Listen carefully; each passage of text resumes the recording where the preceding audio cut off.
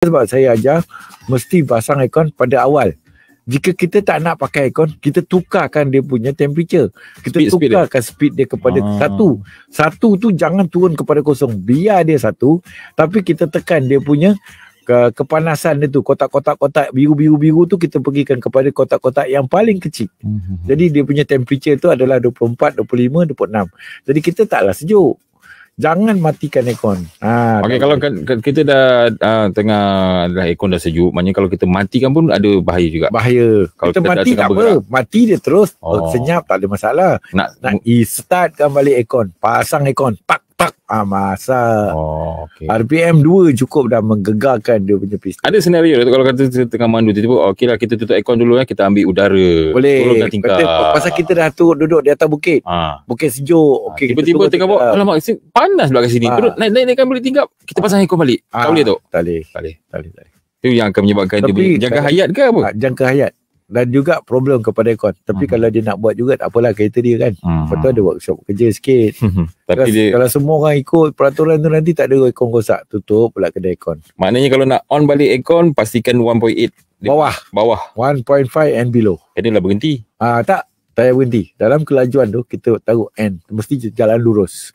Kita taruh N, dia akan turun RPM tu. Oh. Handling speed. And Dan kita pun pasang aircon.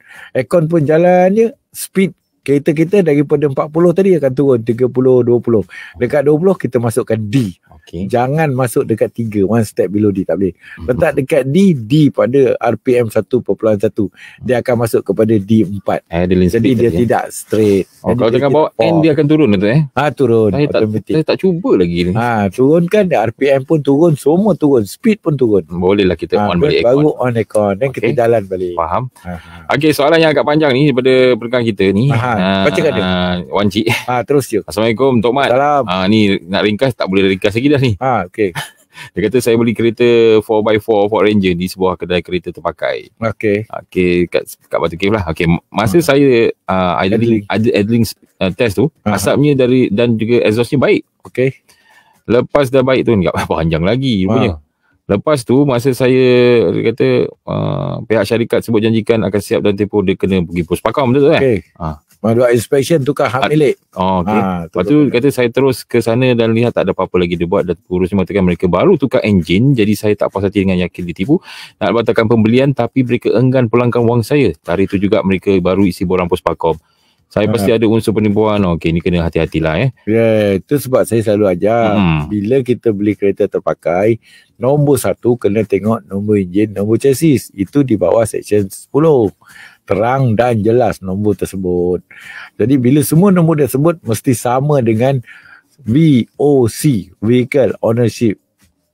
Jadi kalau certificate Vehicle Ownership certificate tu tak sama dengan kereta, jangan beli. Hmm. Ataupun kereta nombor chassis tu tercalar atau nombor chassis tu diganggu, jangan beli. Nanti menjadi penyakit. Nanti dah bagi duit, duit tak dapat. Hmm. Ha. Jadi kena pastikan. Dan bila dah semua betul, baru buat road test. Hmm. Ha, baru buat road test. Masa road test tu, jangan bawa road test macam sayang. Kereta terpakai kena rasa dah sikit. Feel dia. Feel bagus ke tak bagus. Ha, then barulah yakin boleh. Aha. Okey.